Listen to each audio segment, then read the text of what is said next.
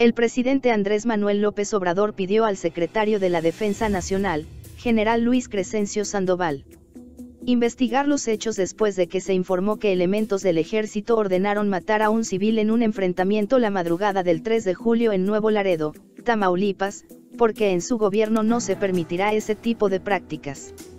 Todo apunta a que sicarios del cartel del noreste asesinaron a los tres jóvenes secuestrados antes del enfrentamiento y persecución de los militares y quien estaba vivo sería un delincuente armado.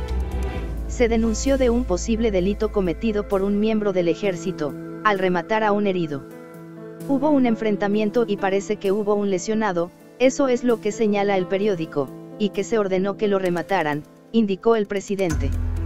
El video revela que una persona, no se sabe si era sicario o civil, se encontraba viva en la caja de una pickup que acababa de recibir más de 200 disparos. La persona está rodeada de cuerpos y frente a militares apuntándole con armas y lámparas, ellos gritan, está vivo, y le ordenan, mátalo, a la verga. La Secretaría de la Defensa Nacional, Sedena, dijo en entrevista para la publicación del reportaje que para ellos sí hay un delito, la Secretaría investiga y sanciona. Si alguien comete un crimen, Aquí no hay impunidad. No existe que se solape a nadie o algún ilícito, si alguien es responsable de una acción se procede conforme a derecho.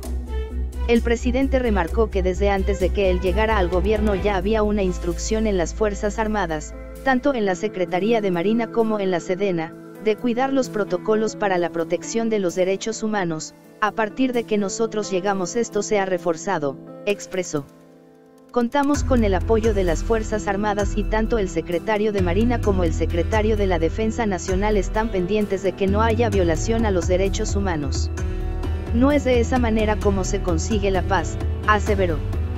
El encargado de comunicación, el coronel Francisco Antonio Enríquez Rojas, especificó que la postura del presidente es lo que habíamos comentado, si hay un delito, que se investigue.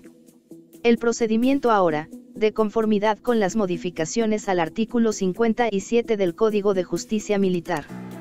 Dice que siempre que haya un civil involucrado pues le corresponde al Ministerio Público Civil llevar la investigación y nosotros pues, tener, total apertura y colaboración.